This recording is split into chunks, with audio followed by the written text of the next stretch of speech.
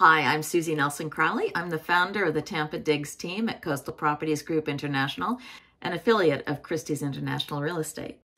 Today's um, episode of Tampa Textures, we're going to talk about Tampa's Rialto Theater. Several many years ago, I had the pleasure of meeting Hope Donnelly at one of Tampa Downtown Partnerships events, and I just loved her energy. I loved her passion about downtown and her vision and desire to be part of what was happening.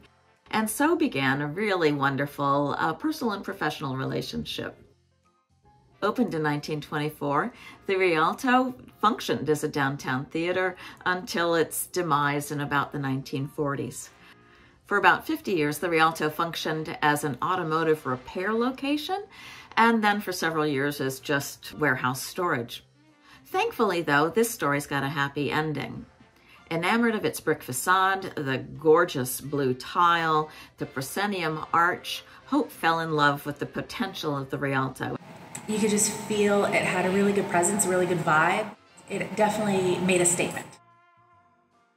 Armed with an SBA loan, she purchased the Rialto in 2013 as part of uh, Eight Count Productions. Every single person who walked in here with me thought I was crazy everybody just looked at me and said, Do you know what you're in for? Do you know what kind of work is ahead of you? I said, Sure, let's do it. Uh, I'm ready.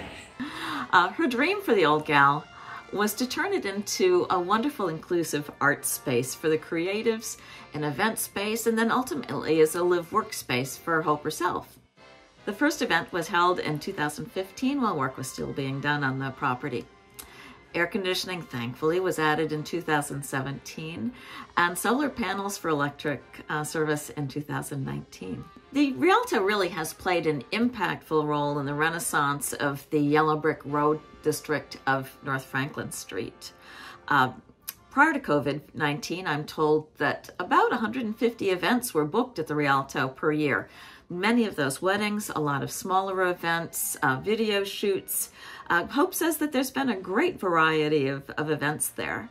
And, you know, I must say in full disclosure that Dan and I have even had uh, a party there in 2016. That was what we dubbed our 60, 55, 25, 10 party. It was a joint celebration of my 60th birthday, Dan's 55th, our 25th anniversary, and 10 years cancer free. We are keeping our fingers crossed that in 2021 we can host another party there. This time celebrating my 65th, Dan's 60th, 30 years married, and 15 years cancer-free. Now, if you'd like to learn more about the, the Rialto, go ahead on good old Google. I'm sure you can find lots more. There's some fantastic old photos of its, uh, of its heyday. And if you like this and you'd like to learn more, go ahead and subscribe to my channel. You know you want to. And if you've got any questions, feel free to reach out and contact me. You can always find me at 813-334-6611.